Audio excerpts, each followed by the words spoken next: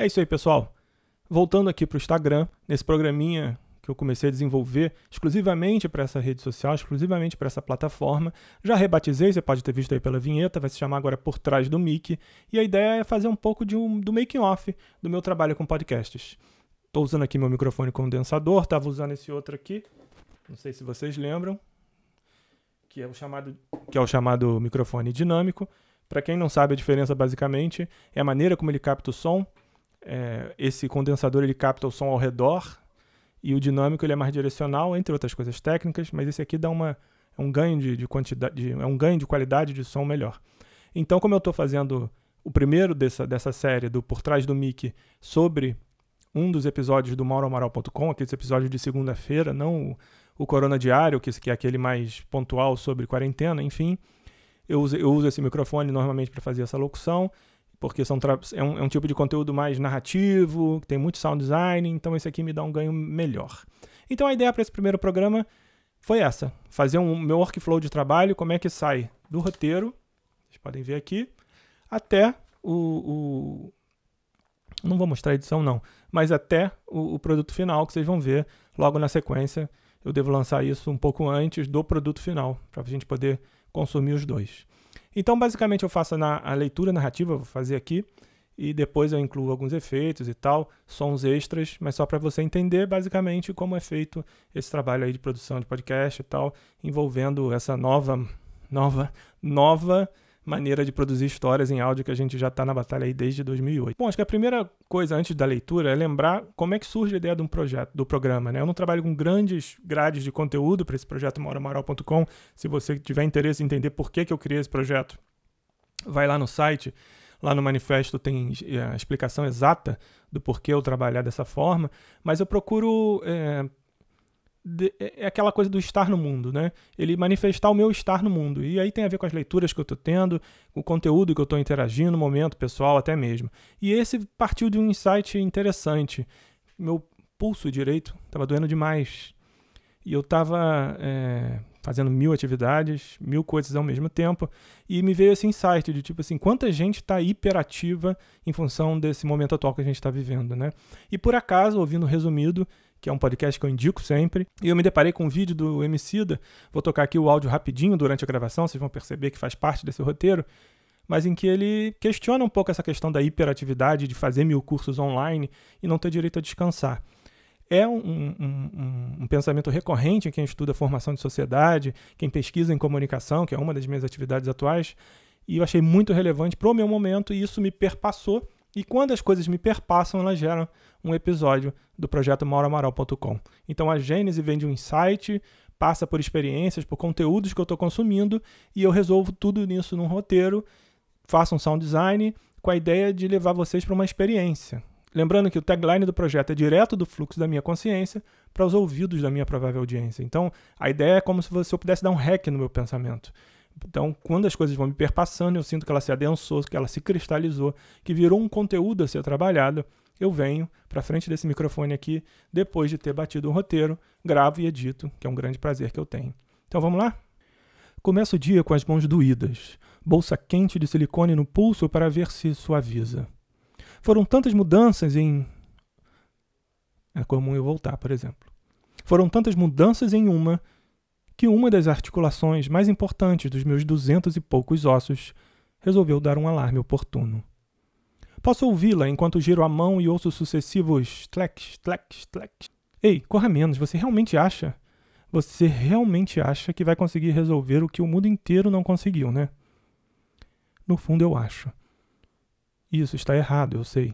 Mas com aquele ímpeto de quem gosta de ecoar ao final do dia a frase dever cumprido no pensamento Sigo digitando, dessa vez na rede social de Mark Zuckerberg. Hoje bateu. Vejo amigos comentando no outro dia, vibrando na mesma sintonia, entrando em contato diretamente oferecendo ajuda. Faço isso enquanto ouço o Resumido, podcast que sempre indico e que em seus em que um de seus e que em um dos seus episódios mais recentes enxerta uma fala do Emicida em sua lucidez óbvia e tão necessária dar uma pausa aqui. Normalmente eu não faço isso, mas vou. A gente quer Fala. ser melhor. Pra gente ser um ser humano melhor, a gente quer ser uma engrenagem melhor de alguma outra coisa, entendeu? Porque toda essa parada de utilizar o tempo livre para produzir alguma coisa do nosso campo profissional, entendo isso quando fala-se de pessoas como nós, assim, que vivem da própria imagem. Mas acho que a rapaziada também tem que aprender a lidar com a solidão, entendeu? Com o ócio. Esse negócio que o Chico falou, do ócio criativo, mano, eu odeio essa ideia do ócio criativo. Tá ligado? Porque todas as pessoas acham que você não pode mais ficar parado, mano. Você sempre você precisa estar tá ali planejando um barato. É sempre o pink e o cérebro. Essa noite eu vou tentar é. dominar é. o mundo, tá ligado? Não, irmão. É. Tô puxando um ronco aqui, cortando a unha do pé e vou assistir um programa de culinária aqui, mano. Não. Sacou? É isso. Pô, é o nazista, ele escrevia na, na frente do, do campo de concentração lá, o trabalho liberta, tem que parar com essa alienação. A gente tem que querer melhorar como ser humano. Pois é, Emicida, penso que dá para afirmar com alguma margem de certeza que a pandemia que hoje nos assola é a mesma que nos nivela, é a mesma que nos nivela e também nos revela. O ultimato de uma sociedade de controle que cobra, finalmente, o seu preço final. Exaustão suprema, enquanto somos, transform... enquanto somos transformados em frangos de granja, presos em cubículos de nosso exato tamanho, de frente para uma luz que não apaga. As telas que nos cercam. Nos alinhamentos nos alimentando de grãos vitaminados de produtividade nociva. Faça um curso online por dia. Aprenda a fazer gestão de tempo, depois storytelling para formato novo que até ontem você não conhecia. Veja como se transformar em um expert em organização, depois organize mais seu tempo para outros cursos. E tenha planilhas. E, apague e pague contas sem que tenha renda. E tenha renda sem que tenha mercado e seja o mercado consumidor quando não há mais nada o que consumir a não ser nós mesmos. E se consuma. E se consuma. Giro 90 graus para a direita e olho para a estante. Em seus 20 cubículos, estes libertadores, guardo aqueles que são meu refúgio mais confortável. Em um desses compartimentos, na espera. Em um desses compartimentos me espera a modesta coleção de ficção científica que sempre nos socorre em momentos como esse. Traço a rota, destino, o admirável mundo novo e a forma como a sociedade anti-utópica proposta por Aldous Huxley resolveu essas e outras inquietações. Claro que eu vou lá fazer isso que eu acabei de gravar, não é?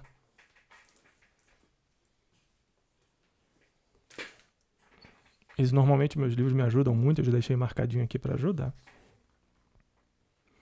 Aldous Huxley, Admirável Mundo Novo, é uma edição da Globo Livros que eu tenho aqui de bolso, capítulo 3, página 78.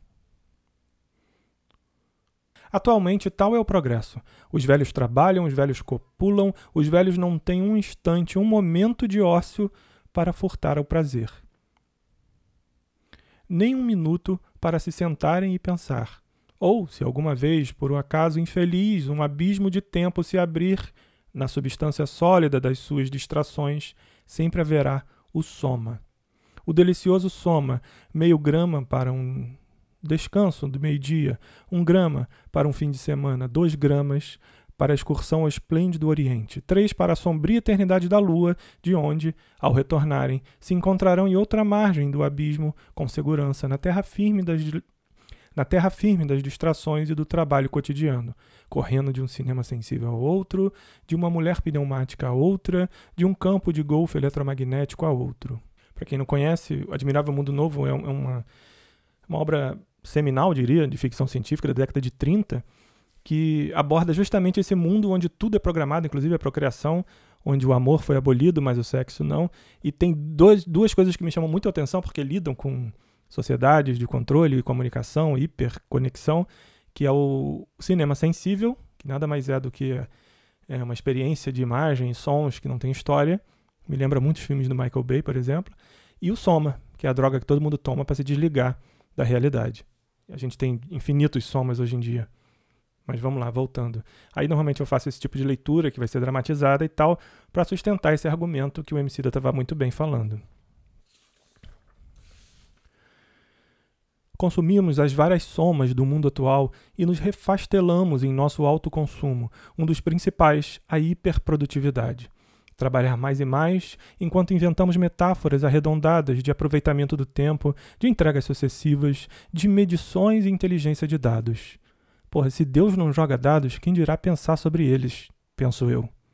Respiro o último ar da geração e me entrego à pergunta óbvia, mas não tão lúcida como a de Emicida. Haverá alternativa? Há de haver. Haja o que hajar, como diria o meme. E, na minha opinião, ela se chama reconexão. Novas alianças não são assim tão novidade na sociedade ocidental. Imolamos bezerros e filhos primogênitos há gerações, esperando que uma voz dos céus vaticine o seu cumprimento. Rasgamos pão, tomamos vinho, passamos azeite na testa, enfim.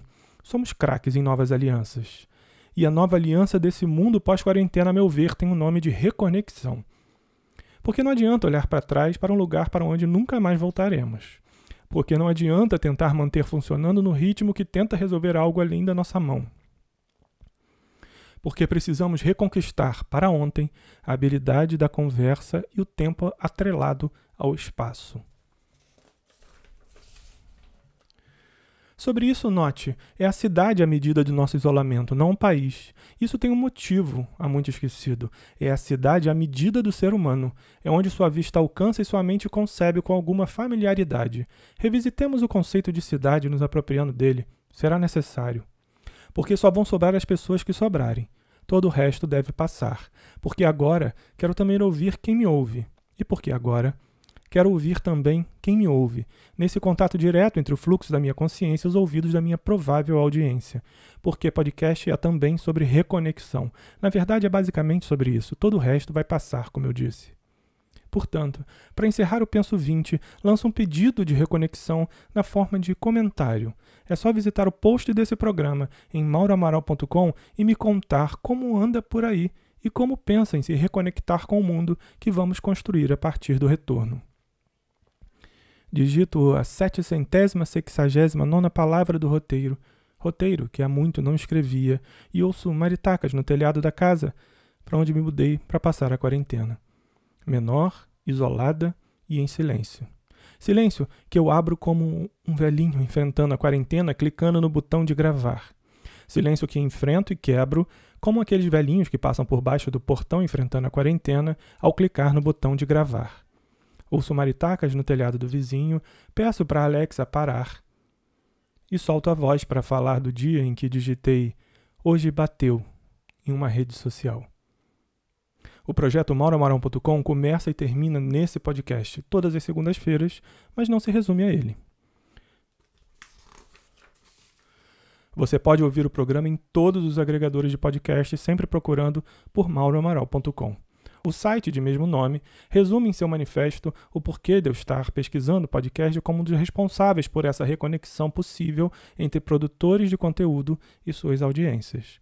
Por lá, na forma de nós, também estou atento a movimentos envolvendo a emergência do mundo analógico em nossas vidas, o empreendedorismo criativo, a paternidade no século XXI e muitos outros. A rede social que a gente escolheu para o projeto é o Instagram. Me procura lá em arroba mauroamaral. E eu até respondo e-mails em eu sou mauroamaral.com. Penso número 20, gravado em 17 de abril de 2020.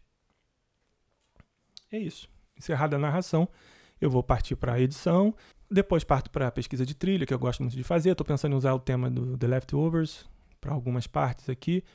Enfim, e aí faço a mixagem, enfim, lanço, post, redes sociais e você pode consumir daí. Basicamente, esse meu workflow de trabalho leva em média um dia, um dia e meio, depois do roteiro pronto, né? Mas o, pro, o programa e novos programas estão sempre na minha cabeça acontecendo. Mas quando eu sento na cadeira para editar e tal, leva mais ou menos um dia para ele ficar no ar. E aqui no, no Por Trás do Mic eu vou trazer esse tipo de conteúdo, mostrando como é o dia a dia do, do, mercado do podcast, como novos programas estão surgindo, novas técnicas, novas ferramentas. E claro, você vai acompanhar aqui a gravação dos programas, não só do mauramaral.com, que vai ao ar às segundas-feiras, como o Corona Diário, que é um projeto de podcast diário, que raramente fica diário, mas ele sai de vez em quando.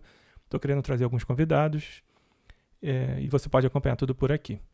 É isso, o conteúdo já está até bem longo para o IGTV. Espero que vocês tenham gostado, comentem, divulguem. Ah, esqueci de comentar, eu vou trabalhar com ele na horizontal, tá? Esse negócio do vertical tá me irritando um pouco. Descobri que você clicar num negocinho que fica aqui, ó, ele fica horizontal bonitinho igual ao YouTube, depois é só clicar de novo e seu Instagram volta ao normal, tá bom? Então eu conto com esse cuidado aí de vocês de consumirem o conteúdo na forma mais que eu acho melhor. É isso, até o próximo. Fiquem bem, fiquem em casa.